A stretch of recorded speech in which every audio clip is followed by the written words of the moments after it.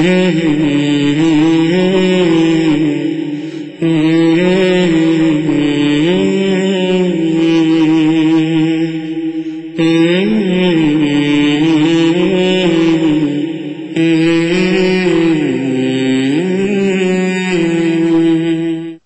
alaikum and welcome to this special edition preparing for Hajj.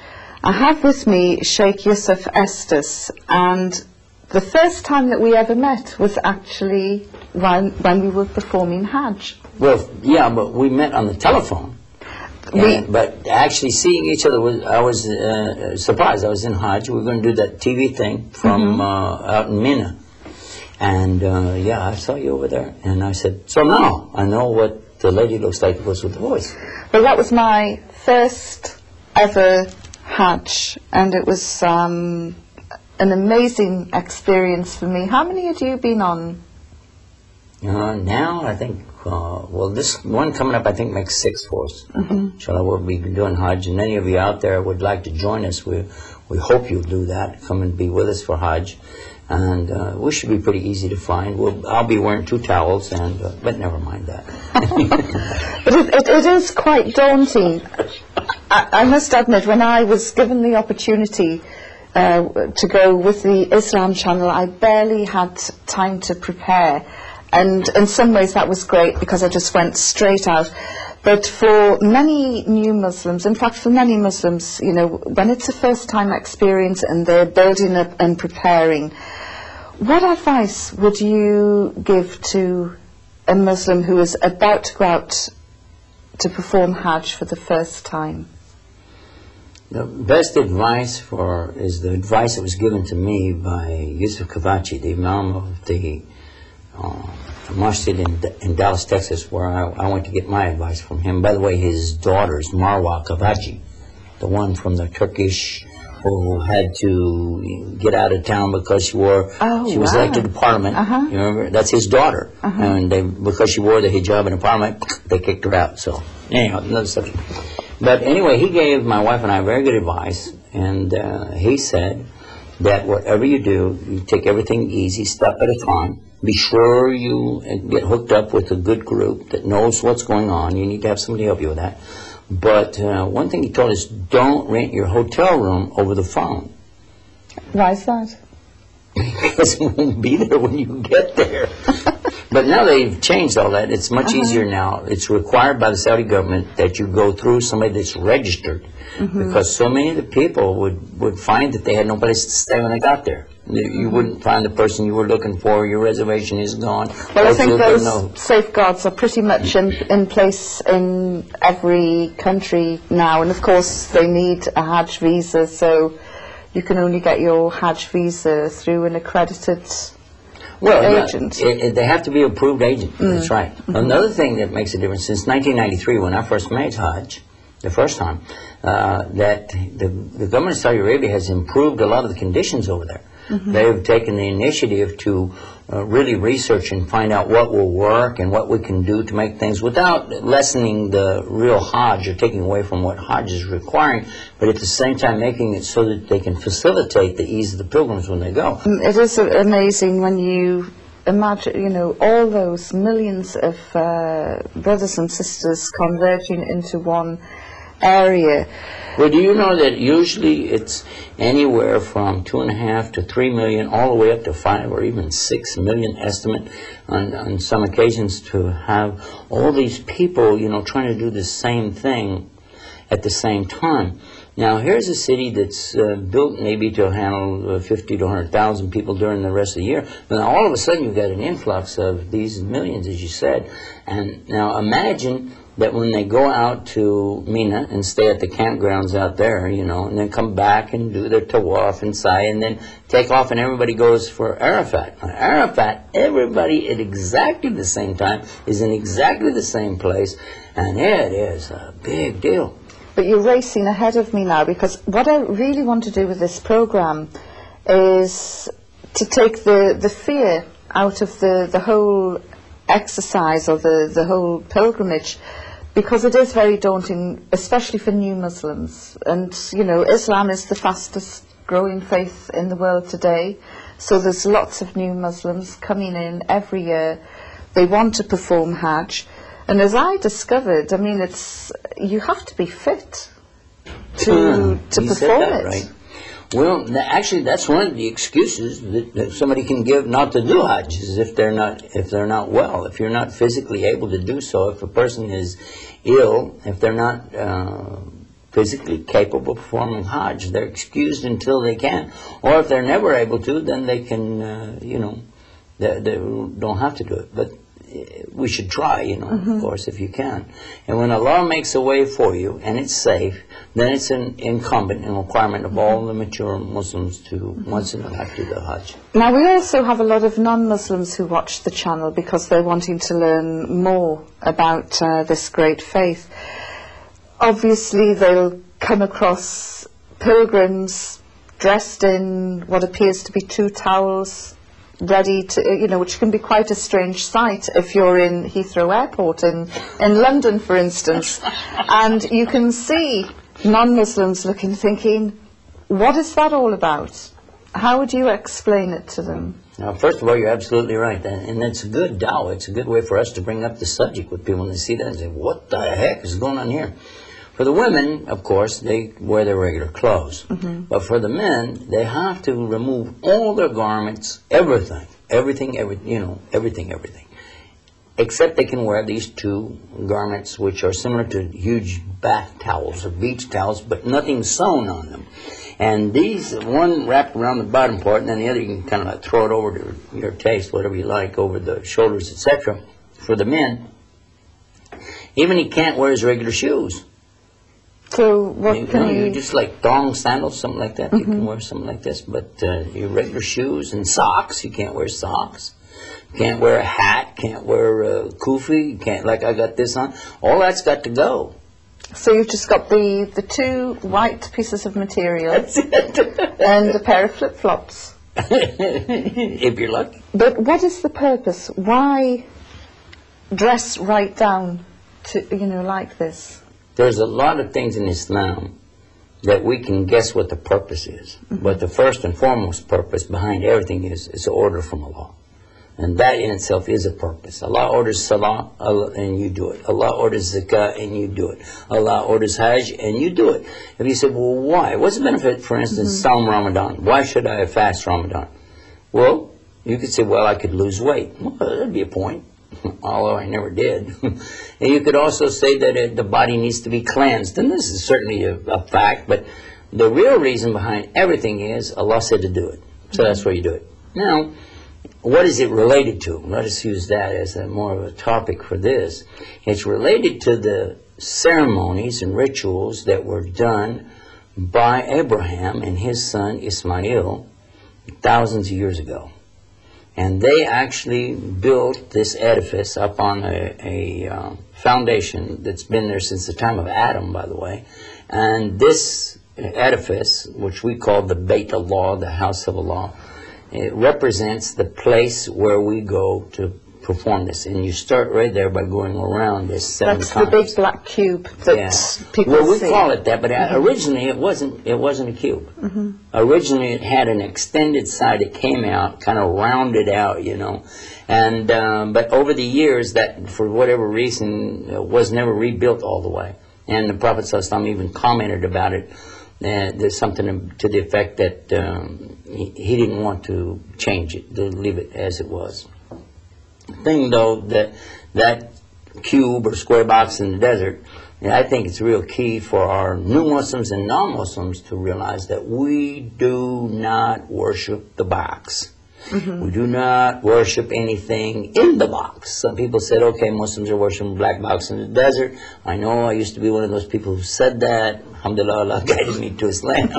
but that we do not worship anything in it either. And if Well, what anybody is in the doubts that, box? they can, there's nothing. It's empty. There's nothing in the box. No, used to be, used to be before Islam Mm-hmm. that the descendants of Ishmael got away from the original religion, they began to worship idols and statues and sun gods and moon gods and so on. In fact, there's uh, Dr. Robert Morey's written a book attacking Islam, saying we worship a moon god called Allah. Well, he's taken the information based on before Islam and trying to incorporate it, make it look like that's what we do today. We do not worship anything in the box. We don't worship the box. We don't worship anything on the planet. In fact, we only worship Allah, and Allah is uh, the object of worship for us, and He's the one who told us to do the the rituals according to the way of Abraham. That's what. So if we go back to the, the airport, wherever it is in the world, Okay. some brothers don't put on the two white pieces of cloth. They wait until they get on the plane. hmm And on my flight, an announcement was made, and the men disappeared and then emerged, changed in, into the, the white cloths. What was that about? Yeah, there's a marker. Uh, th- these markers are established to be so far away from the Kaaba or the the Haram area where pilgrimage is done. And when you reach that marker, it's too late. You cannot put it on then. You have to go back outside of the marker.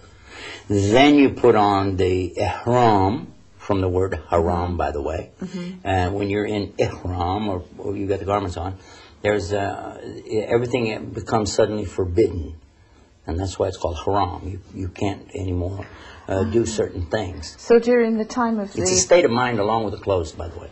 right, so during the time of the the Prophet peace be upon him, when pilgrims used to come from hundreds of miles away Mhm. On foot, on on camels, on horse, they would reach a point where they would then change from being travellers into pilgrims. Yeah.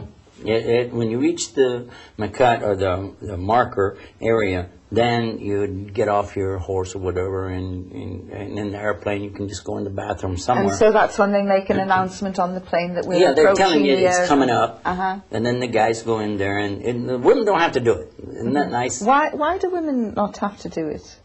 Again, it's Allah's choice, but He knows We get women. off so He makes it. Yeah, well, you know, so many of the things that Allah has made easy for women. If we digress for a moment, uh, I heard women, uh, people talking. They're not Muslim. They're saying why Islam doesn't give equal rights to women. And you say, really, you want it to be equal? And even some Muslims, they didn't know very much. They said, yeah, we want everything to be equal in Islam. I said, really? When you make Shahada, what's the first thing after Shahada you have to do? They said, pray. I said, how many times a day? They said, five. I said, how many days a week? They said, seven. And I said, how many days out of the year? They said, 365. I said, no, not for women. Because women are excused from the salah during their monthly time. And uh, during the monthly time, she has not to worry about the subject. And she doesn't have to keep up with it and make up for it. Is that right? Well, okay. And I ask them, would you like to cancel that? They go, no. And the same is true of fasting. During the fasting time, they don't fast uh, during that time of the month. And here is something in Hajj also. Women don't have to have these uh, two towels. But they're still in a state of ihram. You still mm-hmm. need to make the niyyah or intention before you reach that point. You know, you need to, to be sure that you've made this intent that I, because as the Prophet ﷺ said, "Innama a'malu binniyat," that all of the amal or actions are going to be rewarded according to what was the intention that went with it. And this intention for Hajj needs to not only be in your mind, but it's a good idea to mention it just mention, you know, I'm going to be doing Hajj uh, atamatu, for instance, which means the Hajj of pleasure. This one is, uh, we're going to kind of get into something here now, is when you have the Hajj where you're going to do Umrah, you're going to come out of Ihram, and then you're going to go back into Ihram later when it's time for your Hajj, and you're going to have Hajj and Umrah together, but with a separation time in between for pleasure. That's why it's called that. Now, in the other case, you might say, I just want to do Hajj only. So you'd put it on and you'd stay in it until Hajj is over and then you come out of it. The third option is something a person can do is do Hajj and Umrah together, where they'll do Umrah, Hajj, and then finish. But in this one, they don't take off the Ihram in between. How would you explain Umrah? Umrah. Umrah is also called the lesser Hajj or lesser pilgrimage. But it's real simple to do. In fact, I've done it a couple of times when I didn't go for Hajj. Two other times I visited Saudi and did it. And uh, it's really neat if you're used to Hajj. You come in and you do Umrah. This is easy, you know, because basically, again, you will have your uh, two towels on or your uh, ihram. You'll come in, you've made your intentions on, you get into the airport, you go through the process and everything, go on out to Mecca. Go straight to Mecca, go straight to the Kaaba, and then you do your uh, seven circumambulations around the Kaaba, which uh, is called tawaf in Arabic. And when you finish that up, then you uh, you will go over and do the sa'i between Safa and Marwa, and uh, then, then that's pretty much it. Well, I forgot you got to pray two rak'ah there over near Ibrahim Station, but that's pretty much it. It's it's not very difficult. It's the seven circumambulations, then the seven uh, crossings between Safa and Marwa. These are two mountains, by the way, where uh, if you know the story of Hajar or Hagar is in the Bible, when she was left out there by Abraham, uh, she went looking for somebody to help them because they had no food or water. And she ran up one, and then she ran up the other, and each time she would look and didn't find anything, and she prayed each time when she got up there, and that's the prayers that we still do when we do that. But one of the things that, that's good for you to think about is, is, believe it or not, is that chapstick for your lips. Mm-hmm. And a lot of people don't think about that. It's too late. I'm sure you can find it over there, but it's much handier to have your own. And this is so that uh, non-fragrance. You don't have anything with fragrance, by the way. And then you can put that on there to keep your lips from chapping, and that's a very good thing to have. Another thing is soap. You might wonder, why would I take soap? Well, we started making soap, by the way. Uh, we make it and offer it at the masjid at the time of Hajj so people can have it that has no fragrance, no scent, no smell. Right, so it's important, non-perfumed soap, takes some. When I was out in, in Mecca, I noticed a lot of people with face masks. And it was after the SARS scare, and I thought, what's going on here? And some people said, look, there are so many bugs going around and people sneezing and coughing, you'll pick up something. And I just thought, oh, this is ridiculous. But I have to say, I went down with about five different types of bugs by the end of um, end of Hajj. If anybody was going to get it, you would. Well, and I just thought to myself, you know, why was I laughing at those people wearing the surgical masks and how I wish I'd, uh, you know, what a sensible idea it seemed. It wasn't because of SARS, by the way. No, I They know. did it before. Mm. The mm-hmm. first time I ever went, they had it. Mm-hmm. A lot of people, but people in Indonesia and other countries, they wear it a lot anyway. If you mm-hmm. see, if you ever see the news things and it shows them, they're, well, you've been in these countries, you know that a lot of people wear those the mask and it's, they think nothing of it. It's like a, a surgical mask or a mask that a cyclist would wear for anti-pollution. Or a painter when he's spraying paint. So, I mean, ha- have you? Yeah, I, I carry that. Actually, I carry it with me all the time anyway. I never use it, but I have it in my baggage. I don't know why. But uh, if if I ever wanted it, I could have it and cover up my uh, uh, face mints with you. Now, I know that seems silly to mention. We would obviously remember, be surprised how many times people get on that, oh, my passport, oh, my tickets, oh, my visa, oh, you know. And, and then another thing is a document stating from your doctor, a notarized document that has been approved and probably usually sent into Saudi's embassy to start with, that uh, says that you've had certain shots. Because if you're not cleared to go and health-wise, you get rejected for visa anyway. So you have to have all of that, though. And don't think, oh, well, I've already done that and this. I just take my passport and go. You need to have the documentation, proper documentation, whatever that means to you. Have your documentation and have it handy. One of the things I recommend is um, reach over and grab something. It's not a prop. This is real, by the way. this, you get a plastic bag, you know, with a zip thing on there, and put your stuff in the bag and zip. And that's a real good idea for any of your um documents or something that you don't want to get wet or moist or something like that because you're not going to be able to. For the man, that is he's he's got nowhere to I no was going to pockets. say, where where do you you don't you don't have a valise or a little wallet or anything to? I recommend take a wife with you. it's, a, it's always a good idea because my wife carries everything. But seriously, and uh, obviously that's not always practical. But uh, yeah, and if you had a whole lot of stuff, I guess well, look, Islam will allow you to have more wives if you had a whole lot of stuff. But uh, that's another subject. I'm not going to bite. I am not going to uh, to bite on that. Now then, the belt, buddy belt, buddy belt. Come back to the subject. They can wear a money belt, uh, what they call our document belt, that you can put underneath your towels and That's stuff. That's permissible. Yeah, yeah, they have a a rule on that. There's certain things about the money belt. You should try to get one that's uh, that's made by Muslim or Muslim country or something where they know what the rules are about it, so that it's made properly and uh, they're riveted together. I think instead of sewn, and sometimes they make exceptions. I don't know, but look into that with your local imam what he tells you. Because different mathahab have different little bit fine tuning on some of the rulings. I, I recommend talk to your local imam on that. But Now- that's you got to have something to put your documents in, because obviously your wife can't be with you all the time. So you do have to have your, and that's what I was talking about. Put your uh, passport and stuff in a in a uh, Ziploc, then put it in the money bag or whatever. By the way, we're on the subject of money bag. Be careful because not everybody there is for Hajj. Be careful because not everybody there is for the pleasure of Well, Allah. why else would you go to Mecca? Rip people off. No. Yep. Uh-huh. Oh yeah, yeah. When I was there, I was warned. Okay, so if you warn me ahead of time, I'm usually smart enough to figure it out. If you don't warn me, then I'm just like any other naive person. But I was warned, not once, many times. Be careful, be careful, be careful. There are people there who will rip you off. They'll come up to you with these stories. Oh, I need this, I need that, and sure enough, we saw it.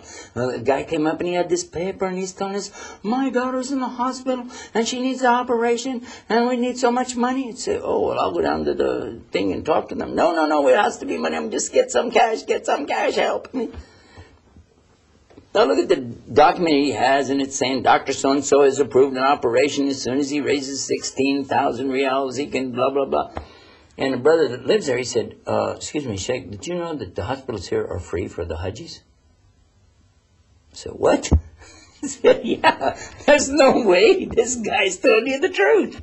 It's very difficult, though, isn't it? You, you're going out there, you're, you know, um, on a, a mission, on a pilgrimage, you're feeling spiritual and, and you're think- wanting to have yeah. all the good qualities um, of uh, the Prophet, peace be upon him, and, and somebody in need presents themselves in front of you. And you're supposed to do it in Hajj. You're supposed to give charity, so you Your want to do desire it. is to help. So it looks like, by the way, you would get a reward if you didn't know. You'd give reward, you'd get uh, benefit back. Prophet Sallallahu talked about that. Listen to this one. This is a hadith of Prophet Sallallahu And he was saying that uh, somebody wanted to give charity. So he gave charity. And the next day it was said that somebody gave charity uh, to a thief.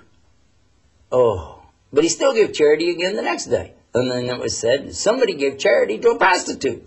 And he said, oh. And then, then he still gave charity, and then it was said the next day that, oh, somebody gave charity to a rich man. And he was trying to give his charity in, in you know, secrecy, etc. And so, but this was coming out to him, and he was understanding that it happened. But now look what the Prophet ﷺ explained that the one who was the thief, when he got the charity, he realized, I don't need to steal. Everything comes from Allah. So he stopped stealing. The prostitute realized essentially the same thing. I don't need to do this. So she stopped her business and became a good lady. And so that charity helped her. but what about the rich man? The rich man, that's the best one. He realized that, hey, you know what? I need to be a lot more generous and stop being so stingy because everything comes from Allah. So in each case, it increased the person's correct belief. So you, when you give your charity, you give from your heart and don't worry about what the other people are going to do with it. Do be careful with that, but at the same time, respect those who are there who are trying to make a living. You might think, well, why don't they do it for Allah? Well, you could do a lot of stuff for Allah and never charge anything, just work all the rest of your life. You, you wouldn't live very long, you know. And some of them charge to push the wheelchairs if you need a wheelchair to, to go around. And some of them will charge to take you someplace. Some will charge you for food. And you, these are normal things. As you get closer to the Hajj time, the price of wheelchairs is going to go up. And if you need to use that to get around there, then you expect to pay more, you know. But that's uh, normal. That's how business works. Now, what about any physical or mental preparations? First of all, before you make the Hajj, as we already said, you need to make the intention for it. Making the intention for Hajj is a part of it. Without the intention, you don't have Hajj. And then what should I think about? One of the things that I always like to emphasize to myself and the, the students is the same, that we should always wear a garment all the time, whether in Hajj or not. And that garment is called taqwa, to have fear of Allah subhanahu wa ta'ala, respect for Him, and be righteous in what we do. So we should be thinking about that and thinking about that what I'm doing now is to please my Lord first and foremost. I'm not doing it for my wife. I'm not doing it for my friends. I'm not doing it to show off. I want to do it for Allah. I want Him to accept it. So that's what I would put as number one. As far as the rest of it, it's going to be the sequence of events. That's usually the problem most of us have. What do I do 1st mm-hmm. It's not just how to do it and so on, but what, what's first? What's the first thing I do? Well, the first thing you do when you check in, as you go through the process of getting into the country with a visa, is to find your group because now you can't travel without a group. You got to have a group. Get with your group and then follow your emir or the mutawa, whoever is the one that's appointed there by the government for you, uh, to, that's going to be with your group. And that person will begin to explain things to you. Now, if you speak English, you should be with a group that's an English group. They have it in English. The booklets and pamphlets, whatever they've got, are provided by the government. They're right there for you. It's in your language. And they have plenty of them. They have stacks of them. If you speak Urdu, they have it in Urdu. If you speak Thai, they have it in Thai. Whatever language, go with those people and stay with them and be sure you uh, get proper instruction. I know a lot of times that you want to run and see some friends, maybe you know from different places, and go visit and run around and do things. But try to remember that's not why you're there. It's not a social event. Although there's nothing wrong with socializing, there's nothing wrong with seeing your friends, hanging out, doing some things. But that's not your primary target. Primary target is to see about how close you can come to worshiping Allah on His terms. Because what happens is in the Hajj, if you're successful, and this is what we should maybe have mentioned in the beginning, but we've been Mm-hmm. Well, there's jumping no all guarantee, is if, yeah, if you're successful in the Hajj, the Prophet ﷺ promises you Jannah. Successful Hajj, Mabrur, is nothing less than Jannah. That's the Prophet said. How do you know? Jannah is been- paradise. By the way, I forgot to mention, for those who don't know Uh-huh. Arabic, that is the, the paradise. But how do you know if you've been successful? And that's the good part about Islam. You never know. Mm-hmm. That's, the that's the exciting part. Because no matter what you do, the show that we're doing right now, Well, we- it's not that we, we hope. Allah will accept this, yes? Uh-huh. I'm doing this for Allah. That's why I'm here. That's why I come over to UK, the programs that we're doing and so on. Mm-hmm. I hope Allah will accept it, but I don't know if He will. You don't know if He will.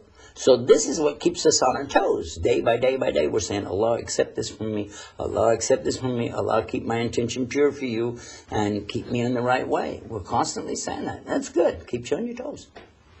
Now then, I remember when I entered the Grand Mosque, my heart was racing as I walked to, to see the first sight of the Kaaba. Is there anything that you should say or do the moment you clap eyes on the Kaaba? A lot of people think there is. I've heard a lot of people say a lot of strange things about that. But uh, I was traveling with several imams, American imams at the time, and they basically explained that there's a lot of things people do, not necessarily based on Islam, but cultural things that they picked up over centuries and so on. You want to be careful of that. But I do remember this, just as you mentioned, that first time of seeing the Kaaba is something that is so breathtaking. Now, I was talking with my friends, we're walking along, and I'm joking around with them, and uh, as I glanced through these pillars, there's so many pillars in there, by the way, it looks mm-hmm. like a forest of marble.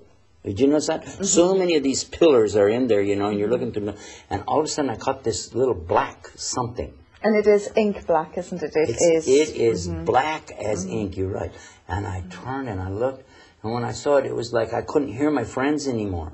And I saw this, and I went, oh. I was just staring, and uh, it's something just come over me. This is it. This is the place. That Abraham and his son Ishmael built up. This is the place where Muhammad wasallam walked around this very same place. He spoke here, he taught here, and his companions also were here. And it's just, it starts getting overwhelming. You start, I- even now I'm getting I know I'm getting all tingly just uh, just thinking about it. I remember one year I was there, and uh, I was coming from the Kaaba. I had the Kaaba at my back. And by the way, there's some people think you have to back out. You can't put your back to it. That's also wrong. There's nothing about that. You can put your back to the Kaaba, no problem. I was going out, and as I was going out, a man was coming in, dressed in his ihram, and he got to a certain point, and he was looking down, you know, following where he's going on the steps on, and he looked up and he saw it, and he went, Allahu Akbar. And he started praying right then and there. Mm-hmm. Now, some people think you're supposed to pray while looking at the Kaaba, mm-hmm. that that's the only place where you don't look down, that you look at the Kaaba. I researched it. It's not true. Mm-hmm. You look down there just like you do anywhere else. You don't look up at the Kaaba where you do Salat. And the only thing that you look other than where you're going to put your head is when you move your finger in the Salat, you look to that. That's what they said. That's the evidence for that. So uh, that that being the case, um, I think when anybody goes to the Kaaba, they should know there isn't any special thing. You don't have to go Allahu Akbar or do anything. But when you're doing the tawaf around the Kaaba, there is a place where the black stone is, and we're going to come to black stone now, that in that case, you do raise your right hand up like this, and you can say Bismillah, Allahu Akbar, and keep on going. Want to talk about the black stone? I do, but let's have a, a Go for it. break and uh, and we'll come back and talk about the black stone. See you after the break. Assalamu alaikum. Assalamu alaikum and welcome back to this special Hajj for uh, new Muslims, Muslims who are making their first pilgrimage. And I have with me an old hand, a, a veteran Haji. Was there an emphasis on the word old or the word hand? Of course, it's the irrepressible Sheikh Yusuf Estes. Is Now- that irresponsible or irrepressible? Never mind. Go ahead. Right, we we've we're inside the grand uh, the grand mosque, and uh, the amazing sight we've seen the uh, the Kaaba, and you say that uh, there isn't any special little prayer that you have to say. Not for the Kaaba. Uh-huh. Not for the Kaaba, there isn't. Although I've seen people see it, and like I was saying earlier, that a man saw that and he just, like a reflex, said, Allahu Akbar, he started doing his salah. I won't tell him his salat's not valid, I won't tell him anybody that, but you know, we don't have an evidence that this is uh, prescribed as act of worship, as far as I know. But uh, I, I want to mention for our viewers, if you just tuned in, we've been talking about the Hajj or pilgrimage in Islam.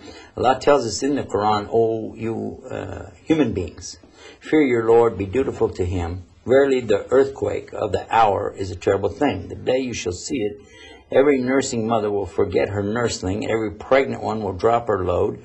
You shall not see mankind as in a. You shall see him in a, like he's drunk." Yet they won't be drunk, and severe will be the torment. Among mankind is the one who disputes concerning Allah without knowledge and follows every rebellious devil. And you might wonder, what has that got to do with your subject? Well, uh, throughout the entire Hajj or pilgrimage that you're doing, we're supposed to be reflecting on this part of Surah Hajj. If you know that's uh, in the Quran, uh, Surah 22 is talking about this. It's a reminder of what's going to happen on the day of judgment. And this is really one of the things that we're preparing ourselves for in this life is for the next life. When we're doing Hajj, we're thinking in terms of how I can get forgiven. That's the big deal. I want to be forgiven. I want to go to Jannah. I want to be prepared for the day of judgment. And it's a horrible day. That day of judgment is going to be really scary. One of the prayers that you offer, I want to jump around a little bit. You're going around, let's do tawaf. We're going mm-hmm. around the tawaf, going around the Kaaba. Here we are going around. And as we're doing that, there are prayers that we can say at different parts of it. One of those prayers is Rabbana atina fi dunya hasan wa fil akhirati hasan wa qina adhab nar. The translation to English more or less says, Our Lord, give us the good of this life and grant us the good of the next life and save us from the punishment of the fire. And this, uh, Allah says about that, whoever, and this is from the Quran, Allah said, whoever says, Our Lord, give us the good of this life and nothing else, then that's what they're going to get, the good of this life and nothing else. But those who ask for the good of this life and the good of the next life and seek refuge with Allah from the fire, then of course that's what He's going to give them. So that's one of the prayers that's offered constantly as you're doing this uh, tawaf. Now, when we left uh, our last segment, we mentioned that we'd come back and talk about Hajar Aswad. What is Hajar Aswad? The black stone. Ah, were you guessing or you knew? Well, I, I sort of half guessed. Half guessed. Uh-huh. But when I was, I really, really wanted to touch it. I bought some postcards with it on, Mm-hmm. and I just thought I really, really need to touch that. And my the stone. yeah, The black and, stone. And my companion said, "Don't go near it because the only way you can touch the stone, you will hurt pilgrims as you're doing it because it's crushed." Uh, everybody is uh, is crushed and pushing, and and uh, you could a endanger yourself, but you could also end up hurting a brother or a sister as you're trying to touch the stone. But it must have some significance because so many people try and touch it. There is some very, uh, I want to say limited significance related to the stone, Hajar Aswad, black stone. But there is a tremendous amount, uh, amount of uh, attention paid to it by people who think that that's the big part of Hajj, just to get to touch the stone. Some feel like if they didn't touch it, they didn't really make Hajj. How many? You have no benefit to help me or hurt me. And if I hadn't seen the Prophet do it, then I wouldn't do it. But because he saw the Prophet kiss the stone, he kissed the stone. But there's no mention anywhere that the Prophet said, you have to kiss the stone, or look at me, I'm going to go kiss the stone now. Oh man, that was really nice kissing the stone, it, nice tasting stone. nothing. There's nothing like What that. is the stone? What is its significance? Some stories say that the stone, the black stone, originated in outer space and it came like a, a meteor. Fell to the earth about the time that Adam was created and it was clear like crystal. And due to the sins of the people over the many centuries, it turned black. I don't think there's real evidence behind it to prove that, but it has been there for a very long time. It may well have been there since the time of Adam in some form. I don't know that. But uh, as far as it changing color and everything, I don't know if you could prove that either. But uh, a lot of folks don't know it, but that stone's been broken. It's been broken into pieces and put back together. It was stolen at one point, wasn't That's it? true, but it was also broken by a catapult. They were fight, you know, they were fighting uh, with the, the enemy outside the walls of the the Haram area, and they threw rocks with those catapults, you know, and uh, things. And anyway, it broke the stone, and they patched it back together. It's it's doesn't look like it if you get up close to it. I've seen pictures of it real close, but uh, it, according to what I read, it's been broken. Another thing you might like to know, I think a more interesting story about the stone is that uh, once upon a time before Islam came, that the tribes of Mecca, the controlling factors of Mecca, uh, were doing like a cleanup and rebuilding and everything for it. Even though they weren't Muslims, even in those days, they worshipped their false gods in that area, as we spoke about in the earlier program. And of course, this is what Islam came to destroy these false gods, idols, statues, uh, sanam as they're called in Arabic. But um, anyway, while they did it, they had removed the stone. Now they were going to put the stone back up where it goes. But it couldn't be decided which tribe was going to have the right to do that to put the stone back. And it was one of those little things in the beginning, but it uh, escalated up pretty fast about, hey, who's going to get to do this? And each tribe is saying, no, we have the right to put the stone in its final place. And they couldn't resolve it. They couldn't uh, come up with a solution. And they said, okay, let the next person that walks in through the gate there, let him decide where we're going to, uh, you know, which one of us is going to put it up. Guess who walked in? The Prophet Muhammad. Prophet Muhammad sallallahu alaihi wasallam. He's the one who walked in. When he walked in, they were happy. And look what uh-huh. they said. Couldn't be a better person for this because he was known to them as the Sadiq. He was the truthful, and that is how they knew him by this nomenclature. They said, "Let him decide." And look what he came up with. And they were right. He was the right one to decide. He said, "Take a sheet, blanket, or some cloth like this, okay, and then put the stone on that." Okay, then each one of the member of the tribe, one of the members of the tribe, grab a hold and hold on to this uh, thing, and all of you pull it up there and put it up to its place, and then I'll push it in there for you. And they all said, well, that's perfect. And that's what they did. They all lifted it up on the street, and then he pushed it in, and they went on about their business. It does show you how men can be a little bit, a little bit nearsighted from time to time. They'll touch different parts of the masjid. They'll touch different emblems that are around there, thinking that it will bring them some good luck or something. And what about these footprints? The Yeah, the first time I saw him, immediately when I saw him, I wondered, what is that really? Mm-hmm. Because the stories that we have about Ibrahim alayhi salam is he was very tall.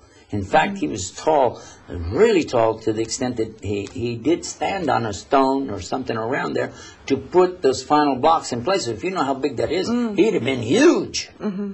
Mm-hmm. If that's true, and this is the place of that stone, then those aren't his footprints. Mm-hmm. Because they're not even as big as my feet. But what is the point of having it there in, in that It shows you where the stone was, Uh-huh. and, and it, that that he actually that may be the stone that's in there too. Mm-hmm. But as far as the footprints themselves, I doubt it. But I'm not going to argue with people. I mean, if they Mm-hmm. think it is, okay, alhamdulillah. But it, you certainly don't pray to it or touch it as...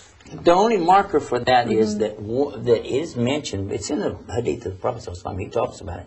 That once you've done your seven circumambulations or tawaf, then it's necessary for you to pray two rak'ah, and you pray those two rak'ah rakatain right after that area. You pass it, and right in there is where you can mm-hmm. do these two rak'ah. But because it's so crowded all the time, the, the scholars have made it very clear that is not necessary to do that. Mm-hmm. Especially if people can get hurt, then pray further back. And they're showing everybody, pray back over there, pray back over mm-hmm. there. And I, and I did, when I was first Muslim, did the first Hajj, and I did try to pray there, and boy, I got stampeded. I really got stampeded. And I see people there all the time fighting, trying to make it so that they're like their wife is trying to do the thing, and he's standing there like this, and a couple other guys, and they're pushing, let her pray, let, and they're. And, but this is uh, very counterproductive. You're there to worship Allah and, and not hurt people. So. But I Don't do it. suppose, you know, Hajj for many people is a once in a lifetime experience. Although some people go regularly. that's true. But for some people, and so they really need to get it right. Because as you said before, the stakes are high. True. And one of the things is that, uh, you know, it's the fifth pillar of Islam. That means that you have to do it to be a Muslim. You have to. Unless there's some circumstances that would uh, make it such that you wouldn't have to do it. Uh, the case of a man who physically can't do it, a woman who doesn't have a man to go with her can't do it, uh, okay. But in the case where you're healthy, able to, uh, financially able to, etc., then it's your requirement. It's not option to you. That Hajj comes and goes and you don't make it, and you say, well, I'll get it next year when I got more money, I'm saving up to buy a new car. No, you can't do that because you don't know that you'll live another year. So you would be deficient on the day of judgment. You would not have one of the pillars that's necessary to be considered as a Muslim. Now, if you can't go, what, I mean, what happens if you're in prison? Say the Guantanamo like- Bay boys. Well, like I said, if you can go. But obviously, any of those things, if somebody's Mm-hmm. incarcerated, uh, or even if they're, uh, uh, Can someone go on even if somebody's a slave, uh, somebody could be a slave. That Uh-huh. that happened to Muslims. They were slaves and couldn't go. Uh, s- if you were um, in uh, the military Mm-hmm. and they wouldn't let you go, if you were in a country that won't give you a visa or allow you to leave, or you can, uh, maybe Mm-hmm. Saudi won't give you a visa for whatever reason, maybe your country, whatever. So in those cases, Allah's excusing you because He's the one who controls everything, and you don't have to go until Allah makes a way. That's part of the condition. It says when you're able and Allah makes a way. But aren't there exceptions when I or you or any of us could go and perform Hajj on behalf of somebody else who can't go? Only if they've passed away. Mm-hmm. Not if they're ill or incapacitated or. Well, they might get well. Mm-hmm. In the case where somebody just you know they can never go mm-hmm. ever, and you have already done your Hajj. This is one of the conditions. Your Hajj has to already be completed, because this happened to me. My dad came to Islam, and uh, he was elderly and not able to do a lot. He was actually taking us to the airport for our first Hajj in '93, and he said to me something about this subject. How about me doing Hajj? And I said, Well, Dad, I don't know, but I've heard that you can do Hajj for somebody that's not able to do it. And I'll check it out. And when I got back, he asked me, and I told him, Dad, I can't do it for you on this time because I had to do my own. Mm-hmm. But let me check again and see what's this. And uh, my father passed away. And when he passed away, I said to Allah that I, the next chance I got, I would do Hajj. Mm-hmm. And I would do it for him. And uh, I guess that's how it was. And subhanAllah, I got to do the very next Hajj came up, and it was so amazing because as hard as the first one was, this one was as easy. Mm-hmm. It was just like Allah made it easy because He knew I was doing it for my dad anyway, and it was so sweet and soft, and I, I had fun. Mm-hmm. The first time I wasn't fun How can you have fun on Hajj? uh, it just was fun. I got to go and see people that I knew from before, mm-hmm. and the, I visited places that I knew what was coming up, and uh, it was just really easy. And by the mm-hmm. way, I recommend to folks to get a video about this Hajj and watch it. It's in English and it's free. And guess whose website you can get it from? Well, give me a clue. Ours. if you So- go to mm-hmm. shareislam.com, mm-hmm. share Islam, S H A R E I S L A M.com, then go down the page. It shows you a lot of websites. And one of the websites that you're looking for here is called watchislam.com. Mm-hmm. But if you can remember a lot of names, you can also do that. Just remember watchislam.com. Go there, click on the links until you can list all the videos. Then drop down that menu and click all, list all. Then go to the bottom of that page. You're going to find a video there. Now I talked about earlier about finding the one on Salat. There's one for Salat, but there's also one there for this uh, Hajj, and it's from the Ministry of Hajj in Saudi Arabia. and It's in English. Right. One of the issues that I wanted to talk to you about was um, the issues of uh, segregation, because a lot of people believe in segregation, and segregation is in evidence in most mosques. And the first thing that hits you when you get to Mecca is men and women are praying alongside each other, they're in the company of each other, doing the tawaf. It's a total cocktail of, of, um, of human life. Wh- you know, what's the deal? Okay, first of all, when you start talking about segregation, I was imagining what I grew up with with the word. Segregation that I grew up with in the United States, especially in the South, was black and white. So Islam totally and completely forbids that kind of segregation. No, I'm talking I know, and Venus. I know, but I'm, you made me think, you see. So I'm thinking, aha, Islam uh, forbids one kind and orders another kind, the opposite of this society. Where everywhere we find in the Western society, there's there's a prejudice toward ethnicity, a prejudice toward race, a prejudice toward color. And uh, if anybody denies that, uh, be careful. They probably deny other things too. You know, It's- the reality is there. Even today, even with so-called freedoms and so on, you still have this ethnicity or or uh, racial segregation. Even in uh, places of worship and things like that, you just let's go with our own kind, kind of a thing. And I want to make sure that you understand that Islam gets rid of that. And this is the place where you will go and find there is no segregation by race or color or uh, ethnicity. You go, you see black, brown, yellow, no green. Uh, you see all colors are there, everybody. And this is what impressed Malcolm X, by the way, to really become a Muslim when he saw that, and he uh, just backed well, he ended up praying next to some blonde, blue-eyed man, and, and, he said, I'd always been brother." Mm-hmm. taught these guys are a bunch of, you know, devils. And he said, this guy's right next to me, and he's just the Mm-hmm. same as me. And everybody's the same. That's one of the beautiful parts about this is the ihram state of having those two towels. Everybody's the same. It's no different. Well, anyhow, coming back to this. It is the only place on earth where the men and the women pray standing next to each other mm. because the Prophet ﷺ made it clear that that was the only place for us to do that. Now, we've had some recent years who said that, well, it looks like we should be able to do that anywhere because it was done then. But that has always been the exception. And they're trying to use the exception to be the rule and pretend like they've discovered something brand new. And in fact, they haven't done anything except cause a problem for themselves. But the basic thing here is to understand that when you're traveling like that and you've come so far, and if you split a woman from her protection, which is her mahram, and she has no other place to go, what would happen? And that was, you know, before cell phones and things like that. Mm-hmm. Well, what happened to this lady? And she has all these people going around. Anything could happen. Mm-hmm. So it means that even in the salah, you can be next to each other. However, pay attention to this. If Friday comes up while you're there in this uh, sanctuary, which is the haram, and it's time for the Jummah salah, the regular Jummah Salah, which is performed there. People of Mecca, whether they're in Hajj or not, they've got to come too and perform their Jummah. And in that case, they do divide the women from the men over there. And the Jummah is performed totally separate, just like it is anywhere else on earth, any other Friday. And I've, I've seen some, um, and now this is something you can help me with because I have seen some women um, wearing a full face veil, um, a black abaya, and they are directing the women into areas and uh, almost, um, I don't know if they are Saudi police women or just um, officials within the mosque to make sure that the women go into certain areas.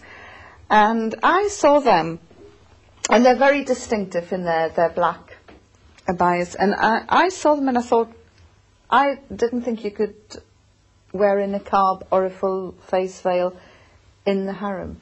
Most likely would never work there. That's a very hard job. It's very rough. Most of the people that are there are uh, expatriates. Okay, just so you know that. Uh, if you notice, they also wore black gloves. Yeah, totally covered. They're totally covered. But they're not in Hajj. They live there. They work there. So it wouldn't be relative. Even if what you said is true, mm-hmm. it wouldn't be relative to them. They work there. Right. Well, that's cleared that one up. Yeah. But there's a little bit more to go along with that. That these women who are working there doing this, they're trying to facilitate several things at the same time. And one of them is the security. You know, they're watching, but there are women there so that if there are women who are coming through, that it's a woman dealing with a woman instead of a man coming up and telling her, mm-hmm. oh, this or that, or touching her or something like mm-hmm. that. So this is one of the reasons the women are there, and this is what part of their job is. Uh, another thing, though, uh, you might be surprised to know that any woman who comes there, even if she normally wears a face veil, it's the one place on earth that there is, and time of the year, that there's no question about whether or not somebody can have a face cover. And it's not because of the sanctuary, it's the event, the Hajj. It's throughout the Hajj, not just there at the sanctuary. A woman cannot wear her face, face veil during that time. Are you sure about Woman that? I hate to question you. just- Cannot no. wear the face veil during that time. Now wait, So no niqab, no Yeah. veil, wait a second. just As in everything in Islam, watch for the exceptions to the rule. uh-huh. Exceptions. This is on the authority of Aisha radiallahu anha. Now remember, the wives of the Prophet ﷺ did cover their faces. For them, it was foreign. Now, all the rest of the women on the earth, if they want to wear the face cover, and they do wear it in many places, this is extra points, okay? They get mm-hmm. more reward with Allah, and it's certainly a lot safer for them, maybe in some cases, but it is not mandatory. But mm-hmm. for the wives of the Prophet, ﷺ, it was mandatory. And Aisha radiallahu says that even for her, like all the women, they had to remove the face cover, except if a man was too close to them. Any man got close, a rider would come by, they would pull their face cover back down. It's in the hadith, read it. And then when they would leave, they'd raise it back up again. Mm-hmm. Because during the Hajj, all women must remove their face cover. This proves something else too. It proves that face cover is a part of Islam if a lady would like it. Because otherwise, she wouldn't say, and it wouldn't be a rule that you have to remove something that's not there. But it would be impossible to remove your face veil because the, the men are everywhere. This is why you find most of the women today who wear the face veil, they keep it on. My wife keeps it on. Mm-hmm. Because at that stage, at that mm-hmm. stage, the men are too close.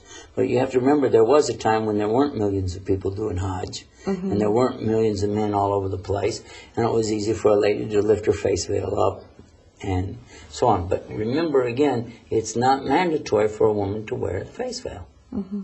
Only for the wives of the Prophet. And this is the, not my ruling, I'm not making this up.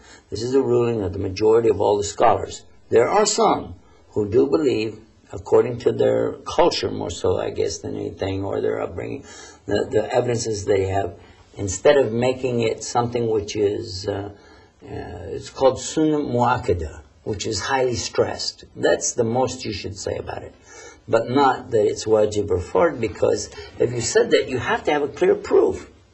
And the clearest proof that we can get for it would be from the Quran, and there's nothing in the Quran that says cover the face. What it says in the Quran, in Surah An-Nur, this is usually the verse people go to, verse 31, it says for them, the women, to lower their gaze, guard their private parts, and then it tells them to lower something else. Lower their khimar, you're wearing something almost like khimar now, that purple thing on top of your regular hijab is similar like they used to have something hanging down the back, like off of a ponytail area, and then they would drop it down over the front, over Juyubihinna. That's what it said in the Quran. Juyubihinna actually refers to this area right in here, covering your chest area. So this is why they flopped it down like this. And it would have covered your face if you did exactly what it says. But there isn't anything that says you couldn't open it up to be able to see. Okay? Now, Aisha radiallahu anha makes a dua for a prayer, a supplication, for the women who, when they heard this, that they tore their uh, aprons. They were wearing an apron over their skirt. They tore this thing and put it up over their heads and covered their faces. covered their heads and their faces. This is what it says in Hadith. This is in Sahih Bukhari, volume 6, uh, chapter 280. Uh, no, 202. Hadith number 282. That's where you'll find that. And and it's very clear that she was making dua because they did it, but she didn't say all the women had to do it. Why did the uh, wives of the Prophet, peace be upon him, have to cover up and the other women didn't?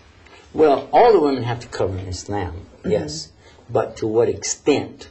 Because his wives stayed behind veils, uh, even curtains and things. Even Aisha, when she taught, anha, when she taught Islam, she was behind a curtain in her house all the time. And but this is because they were his wives, and uh, this is his right. Allah is giving him this that other people don't get to eyeball his wives. That's not right. And uh, they're going to be with him in paradise. And uh, uh, all of them, by the way, they were happy with this too. None of them. Yeah, they had the right, according to the Quran itself. If you don't want to do it, you can break and run. If you don't want to be married to him anymore, go ahead and go. But none of them opted for that to seek the fun of this world. They wanted to have the pleasures of the next world.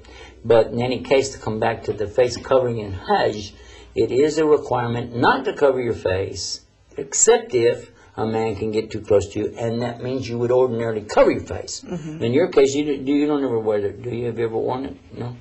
Okay, well, then it wouldn't be of any concern to you, because you shouldn't put it on for that, because it's told you not to do it anyway.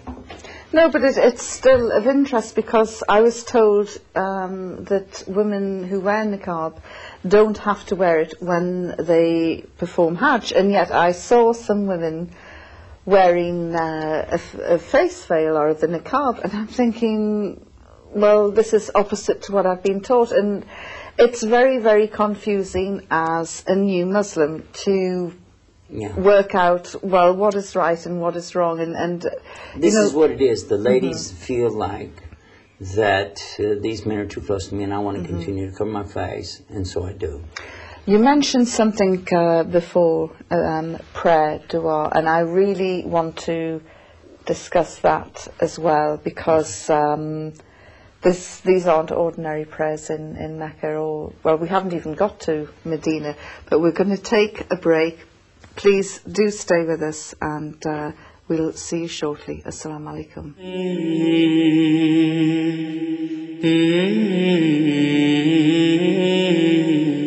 Mm-hmm.